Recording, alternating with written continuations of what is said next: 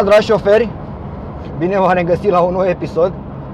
Cred că și ultimul pe anul acesta, pentru că am adus o mașină extrem, extrem de specială.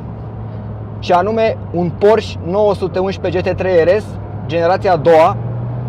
Practic ăsta a fost visul meu de când am acest canal, să pot să merg cu această mașină și să vă prezint. Este pentru prima dată că mașina asta este filmată de o echipă din România și țin să-i mulțumesc prietenului meu care a venit tocmai din Moldova, din Chișinău, aici în Poiana Brașov, să putem filma acest bolid pe, pe aceste drumuri virajate, practic unde este ei locul, ori aici, ori pe un circuit.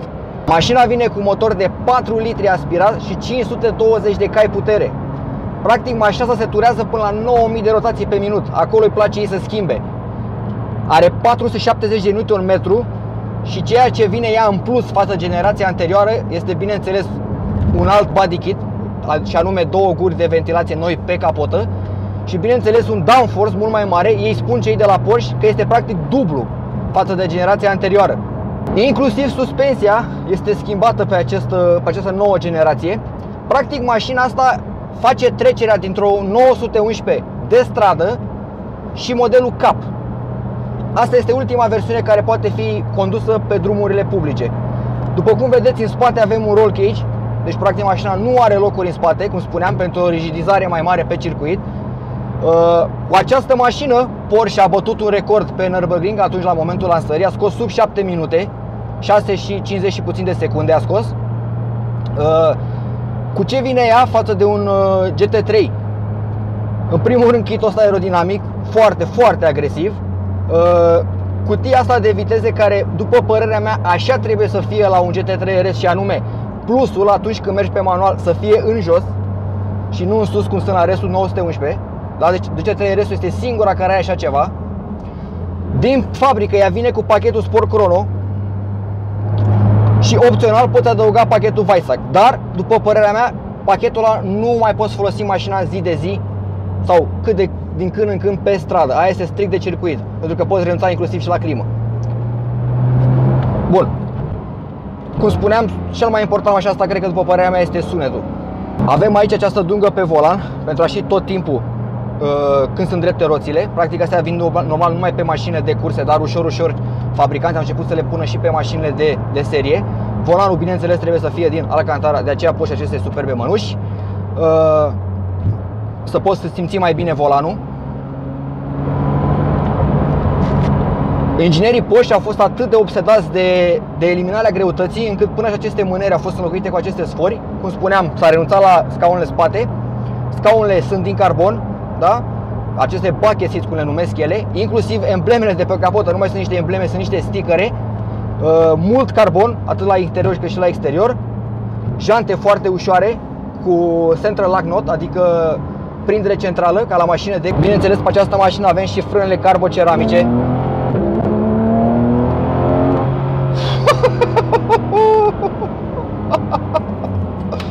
Vai, doamne, cum stă mașina asta. Acum avem activat sistemul PSM, Post Stability Management, sau cum le place unora să spună Please save me, nu? deci, practic, mașina asta îți dă senzația și te, într-un fel, este te îmbină, te îmbie să crezi că este 4x4, dar dacă faci vreo greșeală, mașina nu, nu te iartă.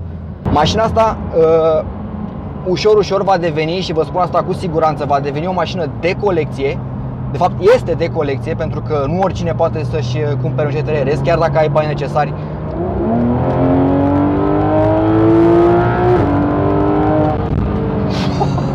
Acum a fost 1000 de rotații. Da, cum spuneam, nu, chiar dacă ai bani să-ți cumperi GT3 RS, nu oricine poate cumpăra un GT3 RS pentru că ele sunt pentru că ele vin în Uh, sunt destul de limitate. Porsche niciodată nu va spune câte va face, dar la sfârșit va avea grijă să anunțe. Uh, în România, de exemplu, au fost achiziționate din câte știu eu vreo 3, dar din păcate zac prin garaje.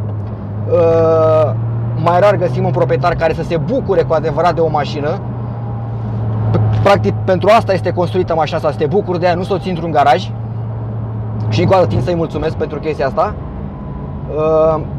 cum spuneam, va deveni o mașină de colecție. Gândiți-vă că toate Porsche-urile GT3 RS din generațiile anterioare au devenit ușor, ușor practic le-a explodat prețul, a devenit de 2 sau de 3 ori mai scumpe decât a fost la de noi.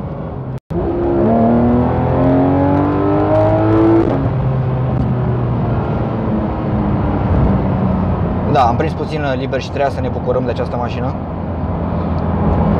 Încă o chestie, mașina vine cu niște cauciucuri cu Michelin Sport, uh, Sport Pilot Cup 2 cu jante de 20 pe față și 21 pe spate. Practic uh, mașina, după cum ați văzut, este mult mai lată pe spate. Inginerii Porsche a reușit într-un fel sau altul să, să facă o distribuție a maselor aproape perfectă, spun ei. Și în continuare la interior, cu toate că este o mașină focusată strict pentru circuit, uh, avem cele mai bune materiale cu putință, adică alcantara, piele din plin, inclusiv pe bord, uh, scaune acestea superbe, care după părerea mea sunt niște bijuterii de scaune, un sistem audio, climă, de ce nu, care v-am spus în anumită condiție poate fi renunțată la ea.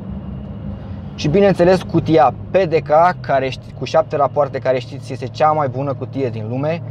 Uh, mulți s-au plâns pentru că generația G3 RS vine doar cu PDK, nu mai vine cu manuală. Aceea a fost uh, opțiunea aceea a fost lăsată pentru GT3, simplu, să poți alege. După părerea mea, au făcut o treabă foarte bună pentru că cutia asta, cum spuneam, a câștigat an la rând cea mai bună cutie din lume.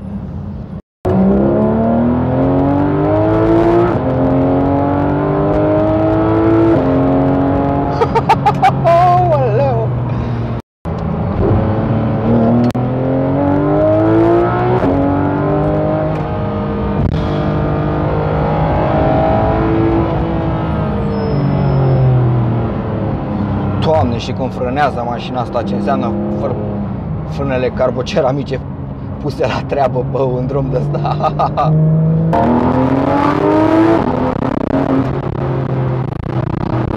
Da, cum spuneam, oricând ai timp.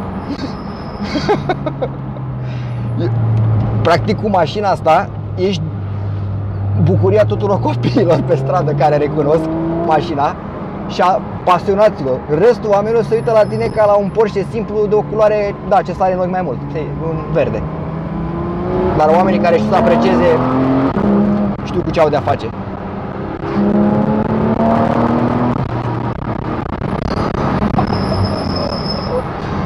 Doamne, doamne, doamne. Cred că n-am urcat în viața mea spre drum spre Poiană atât de tare și atât.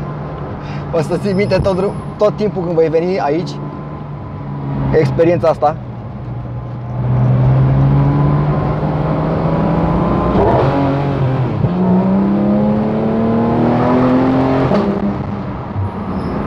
Foai de Deci acele, acele pop-up-uri când schimbă este da, deci drumul perfect pentru un GT3 RS. Chiar îmi pare rău dacă filmam mașina asta în altă parte, cum filmez eu de obicei prin București sau în Mamaia, pentru că nu mai aveam așa de cap.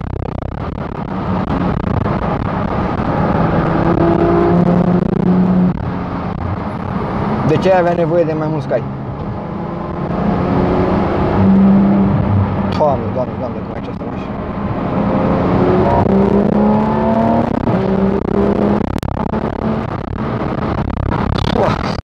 Îmi tremură mâinile cred că a fost ceva ce nu o să mai simt în nicio mașină prea curând, probabil până la generația următoare de G3 RS, dacă o să am ocazia să o conduc.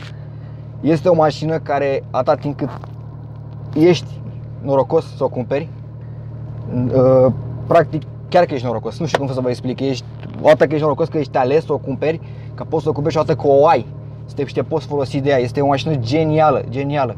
Este cea mai tare mașină pe care eu am condus-o vreodată pe acest canal cea mai tare mașină. Nu are cai într-adevăr atât de mulți cum avea poate altele de 1000 de cai sau 800 de cai sau 1500 de cai, dar ca și senzație, ca și feeling, pentru că canalul se numește șoferul, da? Uh, este cea mai tare mașină pe care am condus-o vreodată și tind să-i mulțumesc încă o dată proprietarului.